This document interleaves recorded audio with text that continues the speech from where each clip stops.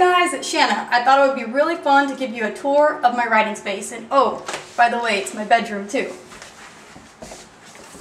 Well, let's start right here with my diploma from Texas A&M University. Woo, go Ags. Um, what does this tell you about me? It tells you that at 18, I had no idea how to make a life decision. Why? Because my degree is in accounting, which as you all know is not where I am today. What else do we have here? We have this wonderful, beautiful light switch cover, which has no decorative appeal at all. Um, most of you who have been following my blog know that I live with my lovely mother, which means that this is also my childhood bedroom, though it has been redecorated except for this. Um, also, we have this calendar by my good friend Shanda. She's a photographer, and that picture is hers, so are all the others in it. This little strip of wall right here, I like to call the wall of possibility. Why? Because the first one is what do what your heart, what does your heart say? I love that, and that is a far cry from where I was when I decided to choose accounting, but that is where my life is being led now. Also, super huge in my life is believe in possibility, and all the way down at the bottom, this little door handle here, open the door to possibility. Now what that tells you is a little, a couple of different things about me, which is at first, when I had the idea that I needed to believe in possibility, it was the idea that I had to strip away all the limiting beliefs and what I thought was possible in my life. But at the same time, that started to promote a little bit of desire, or many desires of ego. So where it is today is I believe in the possibility of how God can work through each and every one of us. So that's what I stay open to. And here in the middle, two wonderfully handcrafted horseshoes from my awesome mom. First one is a picture of my granny in circa 1950. And this one is little me when I was, I guess, seven or eight years old competing on a horse named Misty, who was both my first horse and my mom's first horse. So she was uh, quite the horse. um, I probably should have forewarned you before we entered my room, which is this is probably an internal interior decorator's nightmare. There's no matching at all, but it is me. So, for instance, this picture that we have here probably matches nothing that we've seen so far, but as I said, I'm a boomerang kid, so when I lived in places that were more than just a bedroom, I could place it in a living room or a kitchen or a hallway. But now it stays there. I like it. It kind of transports you to a, you know, European a European setting, and I really, I I've been there once, but hey, it sound it looks enjoyable still. Down below is my vision board, which on a later time maybe I will go into more detail with what all is included in it.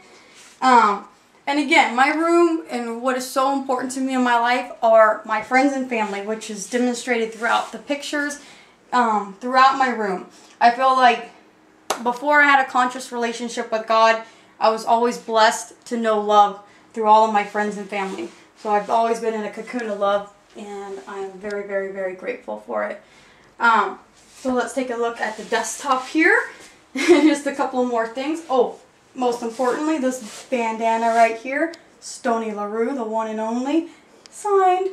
Yes, love Stoney, love Stoney LaRue. And um, a group of us girls went out for Shanta's birthday, and we all got our do-rag signed by him. So that stays right there. And just a couple of other things. This is just a pile of books that are borrowed and need to be returned after I've read them.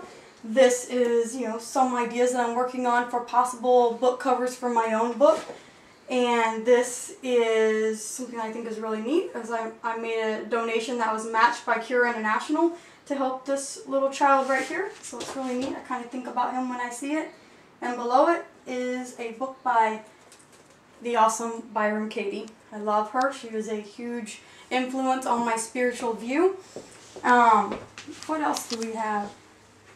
Love. Love is huge. Um, as I said earlier, I've always had uh, a huge, huge, I've, I'll have to cut all this stuff out. But for me, love is so is such an important, integral part of the spiritual journey. It is what this journey is all about. It's not only learning how to love the ones that we're close with, but it's opening our hearts to be so expansive that love just permeates and keeps on expanding, expanding. So a huge theme is in my that's in my room or in my life is love. I've got it here. I've got it down below, right here, and above the curio back there.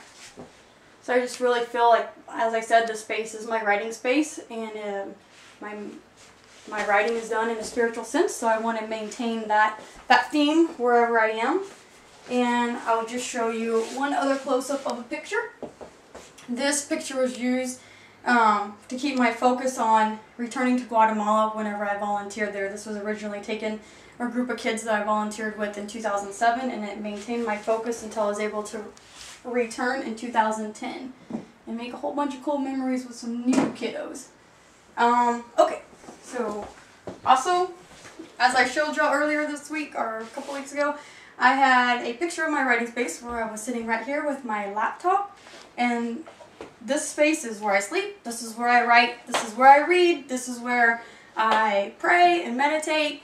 Um, I have to I have to admit I'm not a perfect meditator. I don't do uh, I don't I don't have good posture, so I don't actually sit up. I simply I lay down and I have this blanket here because your body temperature seems to drop and I keep it covered and I just create a space of silence and or dialogue with God through prayer. But yeah, all that is done right here as well as my daily reading which comes from this little pile right here um, must talk about A Course in Miracles. This was the catalyst for my spiritual awakening.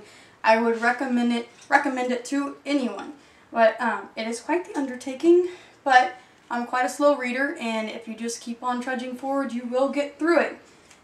I did. I just kept reading. I tried to read like 25 pages a day, and by, you know, two months or so, I finally made it through the text, and then just continue with that focus through um, the course that is a daily it's a daily lesson for a whole year.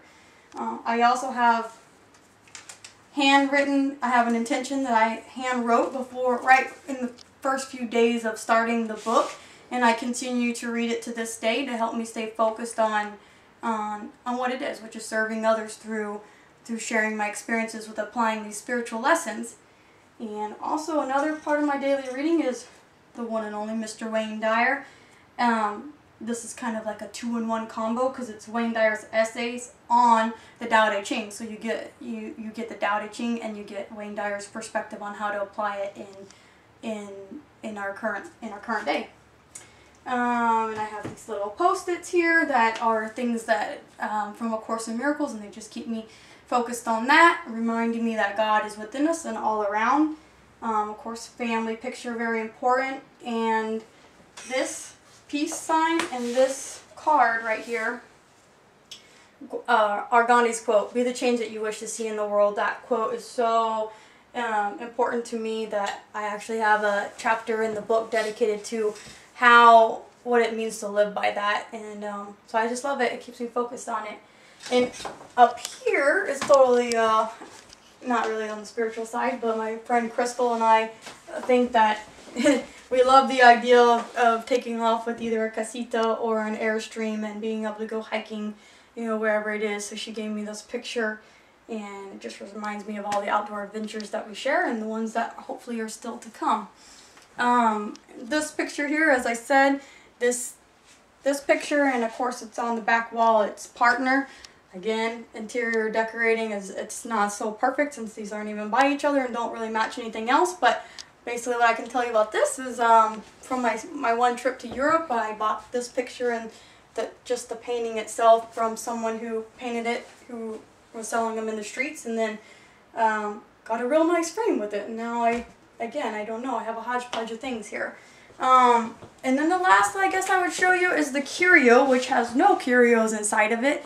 Um, for me, I decided that I would put all like birthday cards, thank you cards, things of that nature that helped me to feel supported by my friends and family and believed in by, by the things that I want to do. And again, I feel like it just creates this warm energy of love and support. And that's why I think this writing space is so important because um, that's kind of the energy that you want to have when you want to share things of this nature. And I guess I'll go ahead and give you a little peek into my closet. And mind you, look, my closet is not that huge. It's not a walk-in. It's just, you know, quite simple. And to think, it's not even all the way filled with clothes. One whole section is geared towards a bookshelf where my shoes are. So, not the typical girl with tons of shoes and tons of clothes, but I think it's perfect. When I was in Guatemala, I lived out of a suitcase for a year, so this, this closet is quite perfect for me. Uh, anyway, I just thought it'd be really fun to give you a little tour of my room, just to hopefully share a bit more of me with you.